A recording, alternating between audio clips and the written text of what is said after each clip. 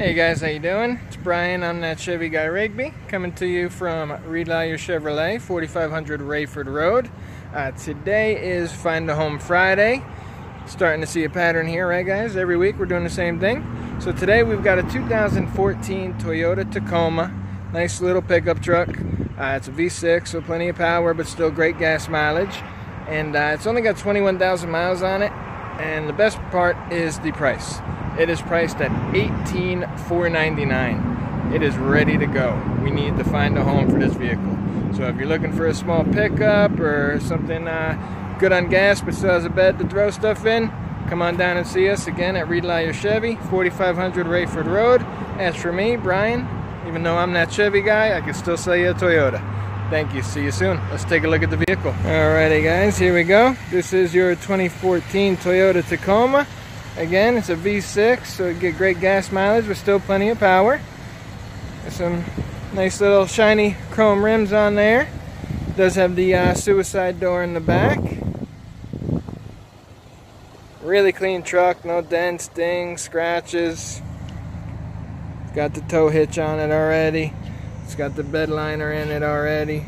Free uh, water bottle there for you.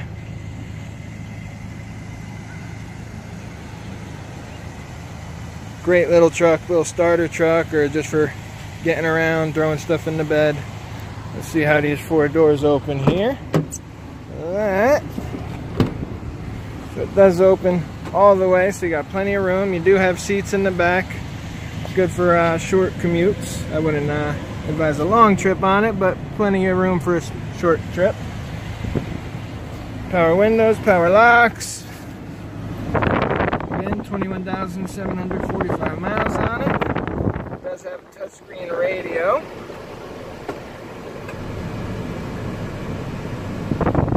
It's got your USB and auxiliary port here. You plug your cell phone in and then you would hit source and you can go through a Bluetooth audio. Again, just a nice cheap truck. Great gas mileage, plenty of power with the V6, and uh, perfectly priced at $18,499. Come on down to Lallier Chevrolet. See me, Brian. I'm that Chevy guy Rigby. 732-215-2215. And uh, I look forward to seeing you guys. Have a great day.